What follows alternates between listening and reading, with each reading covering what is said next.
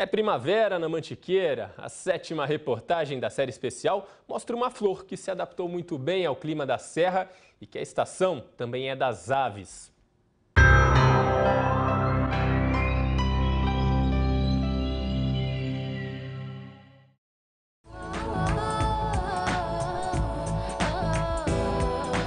A estiagem deu uma trégua, o ar está mais puro e as flores mais bonitas. Primavera, sinônimo de fertilidade. A estação entre o inverno e o verão é muito celebrada na Serra da Mantiqueira. Escolhemos para esta reportagem exemplos típicos da estação que geram renda e emprego e que são totalmente integrados à natureza.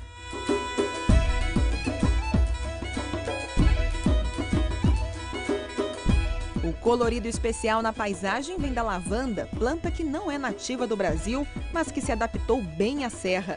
Por que, que a lavanda se adaptou tão bem à Serra da Mantiqueira? Difícil dar essa resposta, né? É uma benção isso. A gente nunca vê lavanda no Brasil, lavanda é uma planta francesa. E a Serra da Mantiqueira tem essa mesma característica, ela não é tão longe assim do mar e a gente vai ter a serra aí variando de 1.200 a 2.000, até 2.500 metros de altitude. Né? A produção na fazenda em Monte Verde começou em 2004. É orgânica, não usa agrotóxicos e nem irrigação artificial. A colheita na primavera tem que ser feita com cuidado para que brote de novo. Da lavanda se extrai o óleo, usado na indústria farmacêutica e de cosméticos. O litro deste líquido rende ao produtor mais de 200 reais. Austroeméria ou astroméria são os nomes desta flor também cultivada na Mantiqueira. Estamos na zona rural de Munhoz. A produção por aqui começou bem pequena em 2005 com apenas quatro estufas.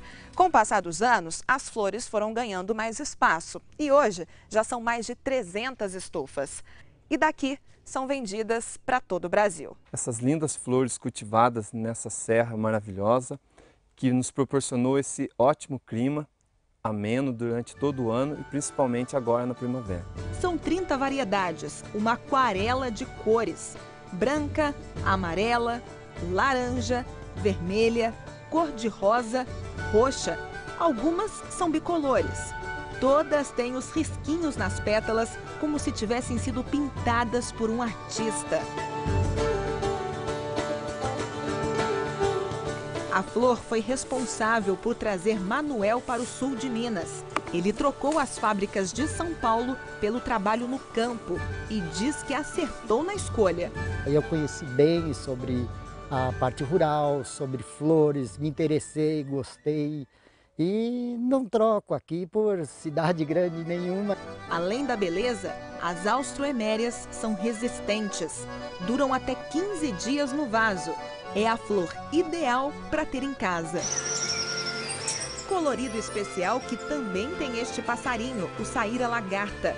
É uma das 500 espécies catalogadas da Serra da Mantiqueira. Assim como a flor, é na primavera que as aves estão mais vistosas.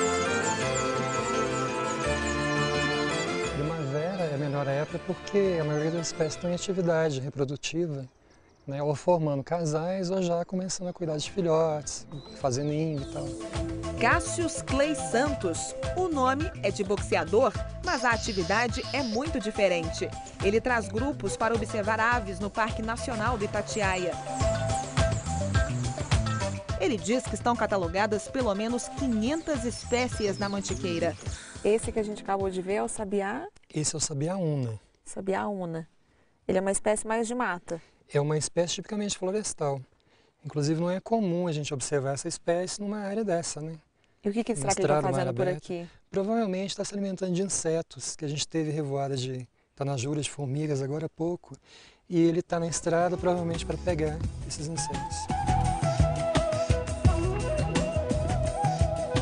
Para observar, as roupas precisam ser discretas. Nossos movimentos, mais ainda. O mesmo som que vem do pássaro vem deste gravador.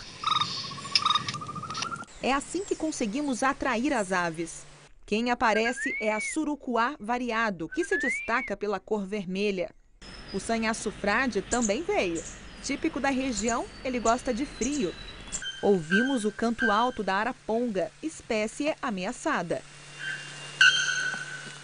Conseguimos avistá-la numa das árvores. É uma araponga jovem. Seu Zé Mauro ficou fascinado com tanta variedade. Existem muita, muitas aves que são endêmicas daqui, só existem aqui na Serra da Mantiqueira. Né? E eu estou realmente muito impressionado com a quantidade de aves que tem, a, a variedade que tem. Né? E são aves muito, muito bonitas, né? então a gente acaba é, ganhando com isso. Né? Dizem que aqui tem garrincha chorona. Pelo canto, sabemos que está por perto. Olha ela aí, misturada aos galhos. No grupo, o inglês. É a segunda vez que Grake vem ver passarinho na mantiqueira. Porque este contato com a natureza é fundamental para, para mim, para outras pessoas. Acho que precisa, não? Porque a natureza é uma coisa muito bom. Já no fim do passeio, olha só quem está na porta de casa. O tucano do bico verde, todo pimpão.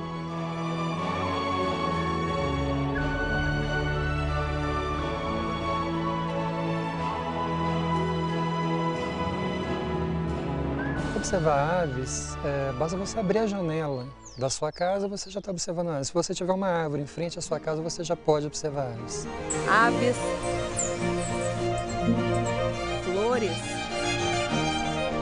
uma beleza atrás da outra. É a primavera da Mantiqueira.